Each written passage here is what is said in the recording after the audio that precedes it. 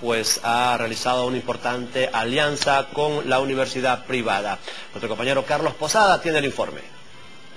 Gracias compañeros, en Estudio Central de Hable Como Habla Televisión Digital me encuentro en el edificio de la Cruz Roja en Comayagüela, donde hoy pues eh, miembros de esta institución han hecho un convenio con la universidad privada Unitec. Me encuentro con el presidente de esta institución, Juan Castro. Cuéntenos sobre esta alianza que han hecho hoy. Muchas gracias. Efectivamente ya teníamos un convenio firmado hace dos años con Unitec, pero hoy en un acercamiento y ya operativizando este convenio hemos reunido con el doctor Francisco, representante y vicerrector de Logan eh, Internacional, para poder operativizar este convenio en temas de salud principalmente, eh, dándole eh, un acercamiento en todo lo que representa Banco de Sangre para la Cruz Roja, lo que es salud comunitaria, eh, servicios de ambulancia, y esto nos va a permitir un acercamiento entre los estudiantes de medicina de la Universidad UNITEC y la Cruz Roja, que nos va a permitir tener un mejor acercamiento, conocimiento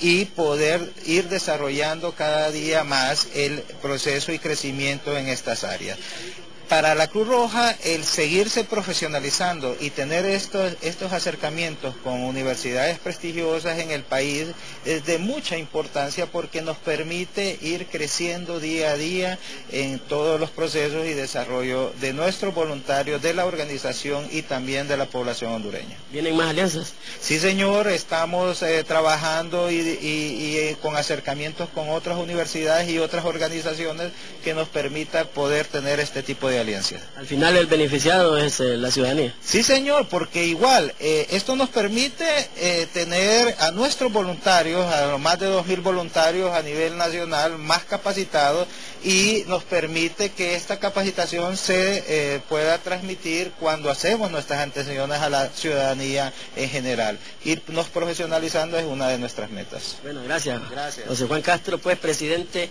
de Cruz Roja Hondureña. Con este informe vuelvo con ustedes al set principal de Hable como Habla, Televisión Digital.